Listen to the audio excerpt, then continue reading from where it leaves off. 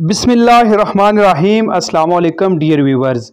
इस वक्त पाकिस्तान आर्मी में बीएससी नर्सिंग की शानदार भर्ती जारी है। आप पाकिस्तान आर्मी को बतौर बीएससी नर्सिंग ज्वाइन कर सकती हैं। अगर आप ट्रेंड नर्सिस हैं तो भी आप ज्वाइन कर सकती हैं। तमाम तर तफसील और अप्लाइंग क्राइटेरिया, रिक्वायर्ड एजुकेशन और लास्ट डेट, तमाम तर मालूम जानने के लिए आप ये वीडियो पूरी देखिए। साथ ही आपसे रिक्वेस्ट करता हूँ कि हर तरह की नई जॉब से बाखबर रहने के लिए मेरा यूट्यूब चैनल भी सब्सक्राइब कर लीजिए और बेल आइकन को भी प्रेस कर लीजिए ताकि हर नई आने वाली जॉब का नोटिफिकेशन आपको बर वक्त मौसू हो सके। आगे बढ़ते हैं। सबसे पहले आप गूगल पर join Pak army dot G O V dot P K लिखेंगे। जैसे ही आप join Pak army dot G O V dot P K लिख कर सर्च करेंगे तो आपके सामने कुछ इस तरह से स्क्रीन शो हो जाती है। ये Pak army, mean join Pak army.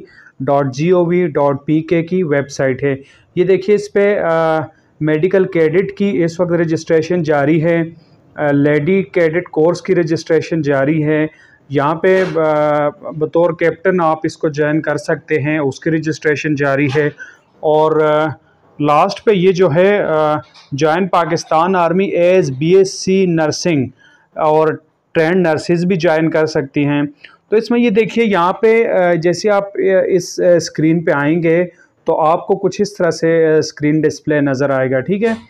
तो यहाँ पे आप देख सकते हैं कि एक तो वो ये कह रहा है कि कोर्स की डिटेल के लिए यहाँ क्लिक करें। अगर आपने डिटेल चेक करनी है तो यहाँ क्लिक करें।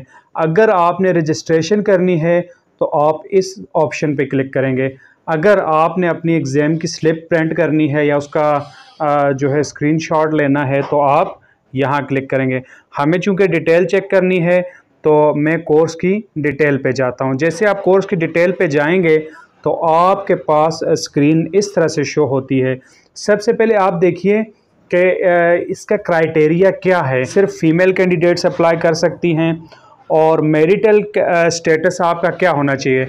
अनमेरिड ख़वान अप्लाई कर सकती हैं, बेवा होती ख़वान अप्लाई कर सकती हैं और इलादगी इख्तियार की जिन ख़वान ने वो भी अप्लाई कर सकती हैं, तलाक़ याफ्ता ख़वान भी अप्लाई कर सकती हैं, लेकिन मेरिड ख़वान अप्लाई नहीं कर सकती। हाँ अगर ट्रेंड नर्सेज हैं, चाहे वो मेरिड हों या अनमेरिड हों वो दोनों सूरतों में अप्लाई कर सकती हैं। अच्छा फ़िज़िकल स्टैंडर्ड देख लें कि आपका फ़िज़िकल स्टैंडर्ड्स क्या होना चाहिए। आपकी जो हाइट है, वो मिनिमम जो हाइट है, वो पाँच फीट रिक्वायर्ड है।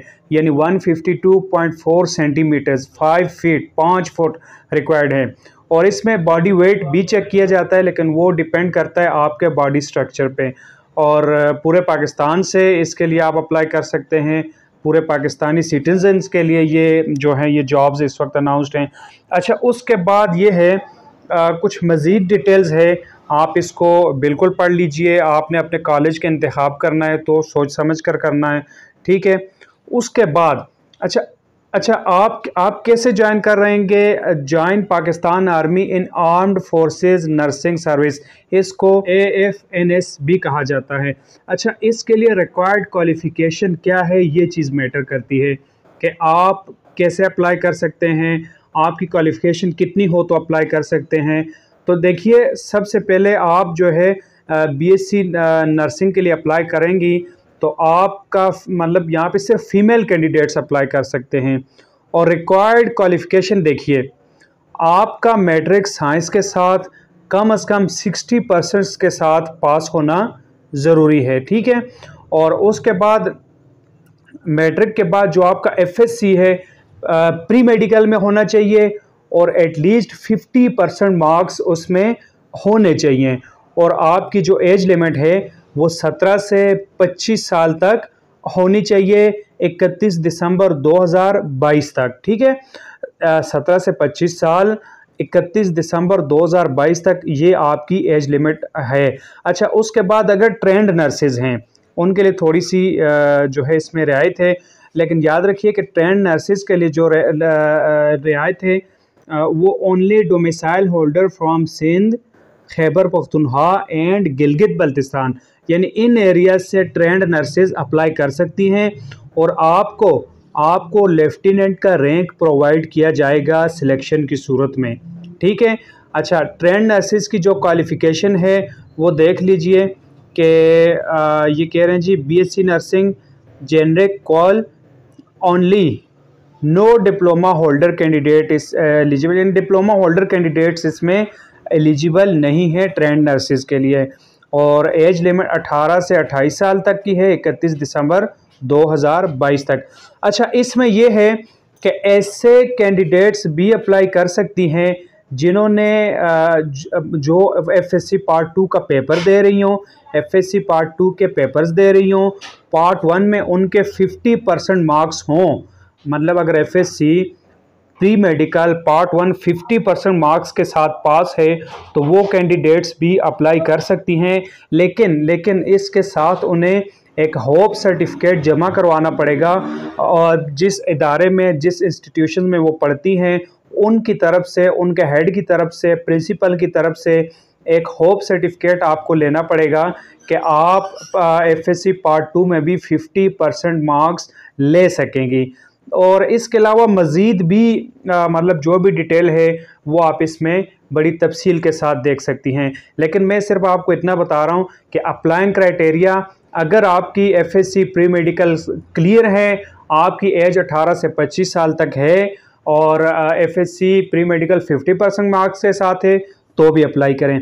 अगर आप एफएससी पार्ट टू के पेपर्स दे रही हैं या दे चुकी हैं और रिज़ल्ट का इंतज़ार कर रही हैं तो भी आप अप्लाई कर सकते हैं। शर्त यह है कि आपके पास FSc pre medical part one में 50 परसेंट मार्क्स होने चाहिए और उसके साथ साथ आप एक होप सर्टिफिकेट जमा कराएँगी अपने इंस्टीट्यूशन की तरफ़ से, अपने कॉलेज की तरफ़ से, अपने इदारे की तरफ़ से कि आप एफएससी पार्ट टू में 50 परसेंट मार्क्स हासिल कर सकेंगी। ये था मेन क्राइटेरिया हाइट आपको बता दिए।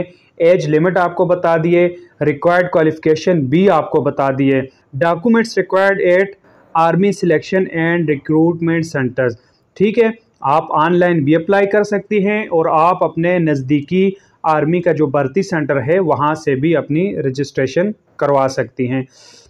देखिए candidates will deposit following documents with army selection and recruitment centres अगर आप आर्मी सिलेक्शन सेंटर पर जाती हैं तो आप ये डॉक्यूमेंट्स साथ लेकर जाएँगी। Original certificates, documents, detailed marksheets, along with two attested photocopies of each educational certificate यानी कि आपके पास जो भी डॉक्यूमेंट्स हैं, जो भी आपके तजर्बाती और आपके तालीमी असनाद हैं, आपके तालीमी सर्टिफिकेट्स जितने भी हैं, वो आपने ओरिजिनल भी साथ लेकर जाने हैं और और साथ साथ उनकी दो अदद फ़ोटो कापियाज़ करवानी, दो सेट फ़ोटो कापीज़ और वो अटेस्टेड हों, वो भी आपने अपने सिलेक्शन सेंटर्स पे लेकर जाने हैं। अच्छा candidate serving in government institution लाजमी बात जो गवर्नमेंट इंस्टीट्यूशन में है, वो थ्रू प्रॉपर चैनल अप्लाई करेंगे। और ये तमाम तर डिटेल्स आप पढ़ लें attested photo copy of domicile यानी जो भी फ़ोटो कापीज़ आप लेकर जाएँगे, वो अटेस्टेड होनी चाहिए। तीन कलर आपकी जो तस्वीर हैं, वो कलर्ड फ़ोटोज़ हों और फ्रंट और बैक दोनों तरफ़ से अटेस्टेड हों। इसके अलावा जी सौ रुपये का क्रॉस्ड पोस्टल ऑर्डर ऑर्डर भी होता है, वो भी आपने जो है वो जमा करवाना होता है। मज़ीद तफसील भी आप यहाँ देख सकते हैं, लेकिन मैं या मज़ीद आपको आपका टाइम ज़ाय नहीं करूँगा। सिंपली आपको तरीका बताना था, सो बता दिया है। उसके बाद आपको मैं ये बता रहा हूँ कि आप तमाम तर तफसील, तमाम तर तफसील join Pak army dot G O V dot P K की वेबसाइट पर आकर ले सकते हैं। तमाम तफसील आपने देख ली। ये देखिए रजिस्ट्रेशन के लिए आप इस पर क्लिक कर सकते हैं। बहुत ही आसान मेथड है रजिस्ट्रेशन का। आप अपना कोर्स सेलेक्ट करती हैं, आप टेस्ट सेंटर सेलेक्ट करती हैं नेम सेलेक्ट करती हैं। मतलब ये देखिए, तमाम बहुत ही ईजी है। फादर्स नेम फादर्स का सी नंबर फादर्स करते क्या हैं उनका पेशा क्या है मतलब अगर वो आर्मी पर्सन है तो उनकी रैंक क्या है? अगर वो आर्मी पर्सन है तो उनका आर्मी नंबर क्या है? और अगर आर्मी पर्सन है तो लिखिए, अगर आर्मी पर्सन नहीं है तो ना लिखिए। तो ये मतलब यहाँ पे mother name mother C N C और फादर की इनकम भी लिखनी पड़ती होती है मदर का पेशा भी लिखना पड़ता है। तमाम तर डिटेल आपने यहाँ पे प्रोवाइड करनी है। कोई मुश्किल नहीं है, बहुत आसान है। पोस्टल कोड याद रखिए कि जो भी आपका रिलेटेड पोस्ट ऑफ़िस है उसका पोस्टल कोड अगर आपको पता ना हो, आप गूगल से भी देख सकती हैं और आप उस पोस्ट ऑफ़िस से पूछ भी सकती हैं। और अपने एरिया का पोस्टल कोड आप जहन में रखा करिए, अपने पास नोट कर लिया करें ताकि ये आपके जहन में हो। अक्सर आपको ऑनलाइन अप्लाई करते वक्त इसकी ज़रूरत पड़ती है। इसके साथ ही वीडियो को अख्ताम करता हूँ। आपकी कामयाबी के लिए दुआ गो हूँ। वीडियो को लाइक एंड शेयर करना ना भूलिएगा। मेरे चैनल को ज़रूर सब्सक्राइब कर लीजिएगा। अपना और अपने प्यारों का ढेरों ख्याल रखिएगा। मुझे इजाज़त दीजिए। नेक्स्ट वीडियो तक अल्लाह हाफिज़।